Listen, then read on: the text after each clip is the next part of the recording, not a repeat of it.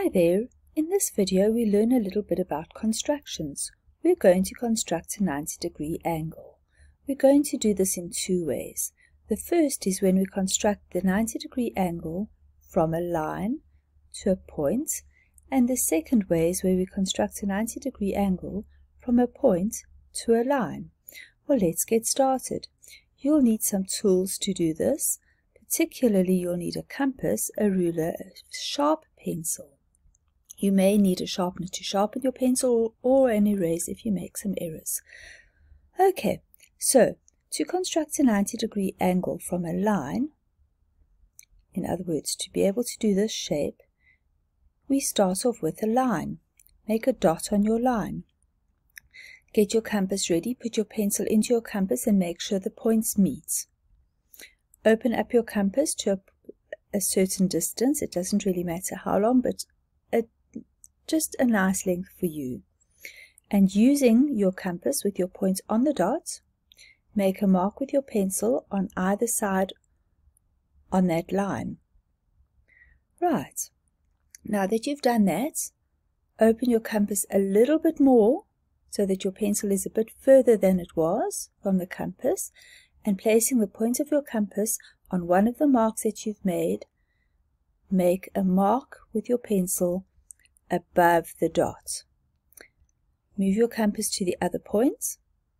And again, with the compass the same width, don't change the width that it was. If you change the width, it won't work. Again, make an arc that goes through the previous arc that you've made. Alright, that your compass has made that arc.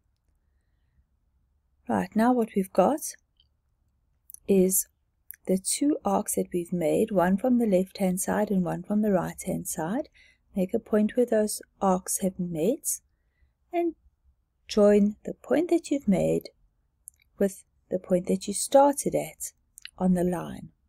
And just like that, when you join that, you will have a 90 degree.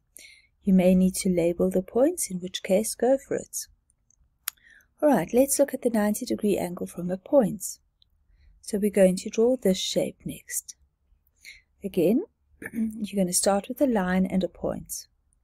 Now from the points, put your compass point on the point, open your compass nice and wide, and from that point, make an arc that goes through the line on two sides. So the distance that your compass is open must be wider than the line so that you can make a point of two sides from the point. Take your compass point and put it on one of those points and draw an arc below. Put your compass point on the other point and draw another arc below. So you've drawn from this point, you've drawn an arc that goes through. Then you've moved your compass here to draw an arc. Then you've moved your compass there to draw an arc. Now that you've got that, you'll be able to draw your line straight up and down through the point A and the new point. And when you do that, you'll have a 90 degree. Alright, in summary, we've learned how to draw a 90 degree from a line to a point and a 90 degree from a point to a line.